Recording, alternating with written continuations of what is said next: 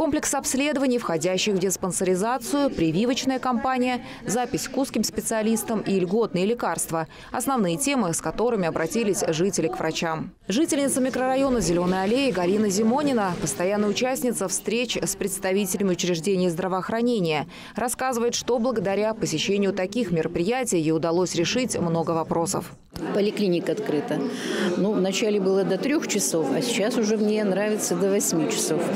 Вот. Ну, что еще? Вот не хватает гине... Э, кабинета гинекологии. Вот хожу каждый месяц и прошу, откройте, откройте.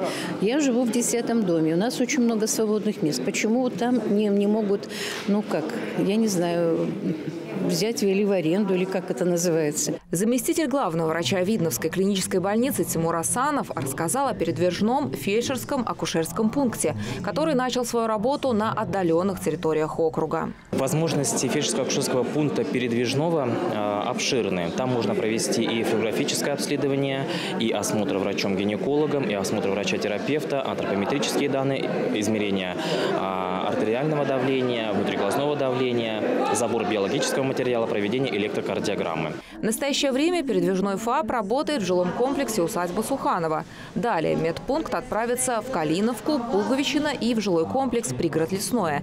Полный список адресов будет опубликован в ближайшее время. Также на встрече жители были приглашены на фестиваль здоровья, который состоится в субботу 28 октября во Дворце спорта «Видное». Приглашаем всех детей, родителей, бабушек, дедушек, вообще всех, э, кто живет на территории Ленинского городского округа. От теродела будут э, отходить автобусы. Для желающих приехать на автобусе от теродела, пожалуйста, э, созвонитесь со своим терроделом, узнайте время отправления автобуса до Дворца спорта. Стоит отметить, что диалоги с медиками также прошли в территориальных отделах округа. Наталья Буслаева, Александр Логинов, Ольга Садовская, Видное ТВ.